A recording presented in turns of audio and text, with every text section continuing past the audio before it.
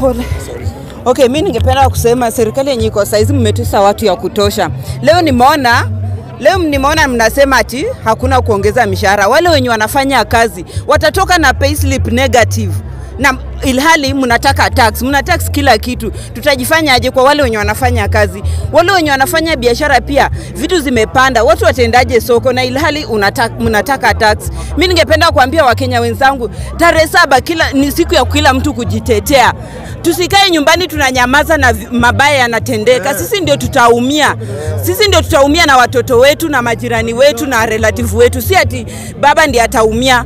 Baba anajaribu kutusaidia, yeye akipenda hata anaweza enda kuishi nje ya ng'ambo, na sisi lazima tutoke nje, tuache kujifanya ati tuko vizuri. Kitu kama ni mbaya ni mbaya, and we should condemn it.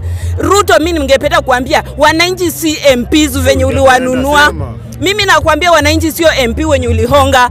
Sisi tumepita kuhongwa and you cannot win our hearts at this time. Tumetosheka na tumetosheka, yenye umetufanyia imetosha, imechoka. You wait on 7th, utaona true colors of people, utaona true colors of people. Watu wamechoka na kudanganywa. We danganya wale ma MPs but not citizen.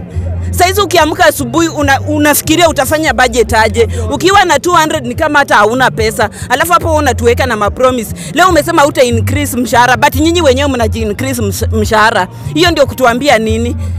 Kila kitu saizi imepanda. Uki, ukiwa, ukiwa tena mia tano haifanyi kitu. Watu wengi wanalala njaa, watu wengi saizi wanalala njaa, si ati ni uongo.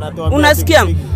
hizo promises zote zenye unatupatia ni ya kutupaka mafuta please wananchi tarehe saba ni kila mtu kujitetea. Tutoke nje tujitetee si ati ni baba. It is about us and it is about us. It is about our future.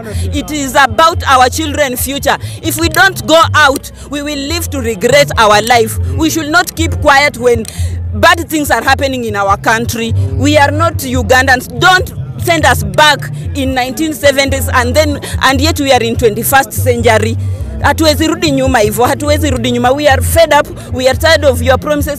We are tired. Saizi ona venye mmeanza kuuaua watu. Tomo sinde juzi ameuawa?